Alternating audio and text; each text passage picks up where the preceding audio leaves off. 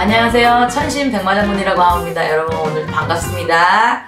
자, 오늘은 어, 삼재에 대해서 말씀을 좀 드리려고 해요. 삼재가 쥐띠, 용띠, 나 원숭이띠 이렇게 들어오셨죠?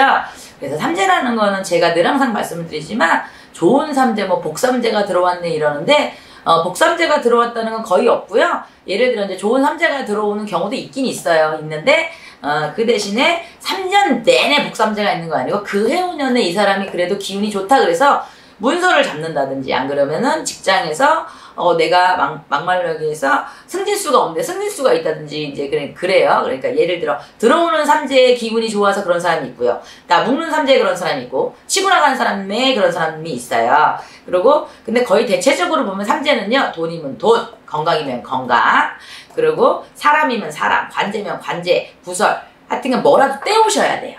그걸 안 그러면 사고 이렇답니다. 그래서 어 그럼 삼재라는 건 좋은 삼재가 없나요? 그래서 제가 그랬잖아요. 3년 내내 안 좋은 건 아니지만요. 3년 내내 안 좋으신 분도 있어요. 내가 들어올 때는 무난하게 문서도 잡고 괜찮았어. 뭐 승진도 했어. 어 그리고 집안에 경사도 났어. 그런데 어 묵는 삼재 때 내가 멀쩡했는데 갑자기 자궁을 수술하게 됐어. 자궁을 드러나게 됐어.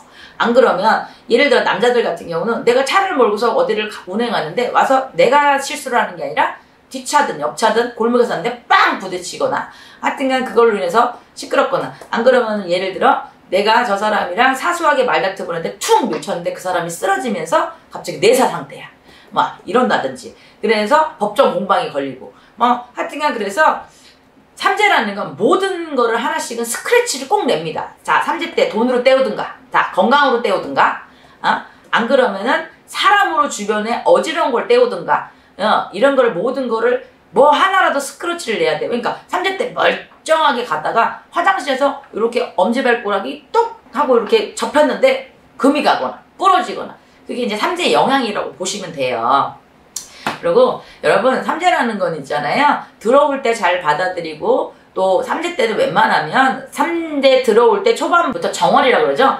미리미리 풀어내시는 게 제일 좋아요. 근데 풀어내면은 어 저는 이건 면하나요? 그렇지 않고요. 예를 들어 내가 칼로 싹 비었을 때 쫙 나가는 게 아니라 그냥 예를 들어 내가 열 방을 꼬맬 거 두세 방울만 꼬맨다든지 어 이렇게 해서 조금 이렇게 우회할 수 있다는 거죠. 정타로 맞는 게 아니라 약간은 우회할 수 있고요.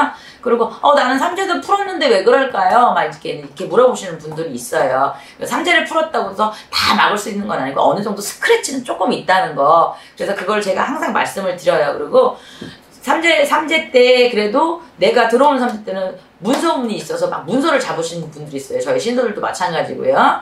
근데 이제 그게 법당에서 치고 나가는 삼재 때 더 조심해라 그러고 삼재 동안 어떤 사람마다 너는 건강 관리를 잘해라 분명히 칼 될 일이 있다 그러면 분명히 그 사람은 어디든 칼을 대게 돼 있어요. 그리고 어떤 때는 삼재 때 어, 저는 삼재니까 뭐라도 그러면 칼 대기 싫으니까 보살님 저는 뭐를 하면 조금 막을까요? 그러면 왜 이제 뭐 이런 분들이 있어요. 아가씨들 중도 그렇고 중년의 여성도 마찬가지고 할머니들 마찬가지고 아 이제 어르신이 되면서 눈꺼풀이 이렇게 젖었어.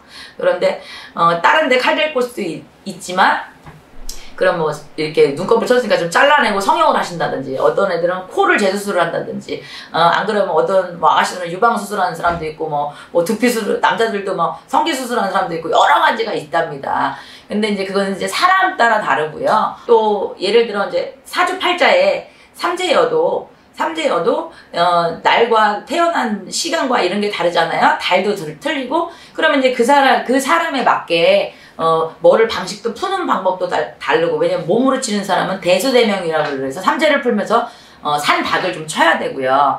또 어떤 사람은 돈으로 손실이랑 오는 거면 돈을 막기 위해서 조금 뭐 이렇게 예를 들어 재수굿을 조금 해갖고 사업문전이나 영업문전을 좀 열어줘야 되는 게 분명히 있고요. 그리고 제가 지난번에도 항상 말씀드렸지만 저희 신도들 같은 경우는 삼재 때 삼재를 풀어놓고 뭐 그 사람에 맞게 뭐 일을 해준다 그래도 어, 이렇게 3개월에 한 번씩 한 번씩 삼재 부적을 갈아줘요. 왜냐면 부적은 제가 그랬잖아요. 1년짜리예요. 뭐 2년짜리 몇 천만 원이에요. 뭐 뭐 몇백만 원 줬어요. 이런 건 없고요. 삼재 때는 무조건 그냥 3개월에 한 번씩 그냥 삼재 부적을 갈아달라고 그러셔서 가는 게 제일 좋아요. 왜냐면 부적이 그렇게 1년, 2년, 3년 이렇게 영험하면 효과하면 뭐 누구든지 다 지고 있지 그러면 얼마나 좋겠어요. 그렇지 않아요. 그리고 실 이렇게 그, 그 사람에 맞게끔 그날 그날 써야 되는 시와 날이 또 있답니다. 그러면 그, 그렇게 써서 어, 써갖고 올렸다가 그 사람이 가져갈 날짜에 줘서 그걸 자꾸 갈아가고 갈아가고 그걸 반복하셔야 돼요.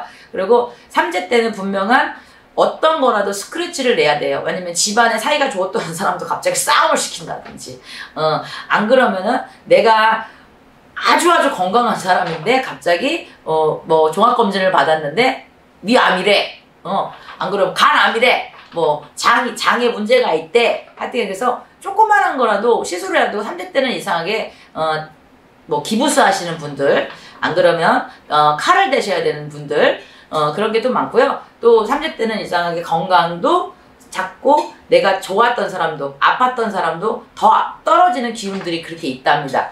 그렇기 때문에 여러분 삼재 때뭐 제가 아니어도 뭐 가까운 주변이나 좋으신 분들 이렇게 있어서 다니시는 뭐 고객들도 이렇게 있고 막 그래요. 그러면 거기 가서 그냥 보살님 어, 단골레가 이렇게 있으시면 보살님 저 삼재라서 근데 어떤 분이 어떤 선생님 그러는데 삼재 때는 3개월마다 부적을 갈아주래요. 근데 그분이 아니라 그래도 무조건 3개월마다 부적 갈아달라서 조금 지갑에다 어차피 듣고 다니는 거 그렇게 무겁지도 않고 그래서 그걸 좀 가르셨으면 좋겠고요. 그리고 되도록이면 저희 같은 경우는 뭐 정월에도 풀지만 가을에도 삼재 때는 꼭 풉니다. 왜냐면 또 그리고 두 번 풀 때는 뭐가 있냐면 악삼재였을 때 그리고 내가 이상하게 되는 일이 없을 때 그리고 사건 사고가 자꾸 나고 교통사고도 나고 또 우환이나 질병 그리고 내가 어, 혹시라도 장남이나 장녀가 이렇게 삼재가 들어와 있거나 또 엄마 아버지 중에 두 분 중에 삼재가 있다 그러면 그 뭐가 있냐면 상문이라 그래요 저희가 그러면 누, 누군가가 엄마 아버지가 안 들어가셔도 예, 집안 아이 식구들 중에 어, 외가부리 친가부리 다 포함입니다. 그렇게 해서 돌아가신다든지 그래서 상문이 껴요. 그래서 그 희한하게 안 좋은 일이 자꾸 겹치고 그러거든요. 그러니까 여러분 삼재라는 건 솔직히 좋은 삼재는 없으니까 아직도 삼재를 못 푸신 분들이 있다 그러면 삼재 꼭 푸시고요. 3개월마다 부적 같은 걸 좀 지녀서 막아갈 수 있을 때 그렇게 하시면 좋겠고 삼재는 뭐라든지 돈이면 돈, 건강이면 건강. 예를 들어 부동산이면 부동산, 어, 뭐 주식이면 주식 모든 거를 갖다가 조금 손실을 볼 수 있게 하거나 관제가 걸릴 수도 있거나 그래서 여러 가지 이렇게 다섯 가지가 전부 다 있다는 것만 명심하셨으면 좋겠고요. 그리고 그럴 때 아, 내가 절에 가서 풀었는데 근데 절에서 삼재 푸는 거랑 저희 이렇게 만신화 때 푸는 거랑은 좀 차원이 다르거든요. 그렇기 때문에 안 풀으셨다 그러면 꼭 푸셨으면 좋겠고요. 다니는 단골레가 있다면은 삼재 때 어, 좀 봄에 풀으셨다 그래도 가을에 한 번 더 풀어달라고 그러시고 부적도 그냥 선생님이 직접 내리셔서 어, 좀 바꿔달라고 그러시면서 어차피 그냥 해드리는 거 아니니까 또 신령님이 공덕이 내려와서 하, 해놓은 거니까 그렇게 하셨으면 좋겠어요. 여러분 삼재 때 건강 관리, 사고수 관리, 그리고 돈 관리 이런 걸 참 잘하셨으면 좋겠어요. 자, 오늘은 삼재에 대해서 여기까지고요. 오늘 너무너무 감사합니다.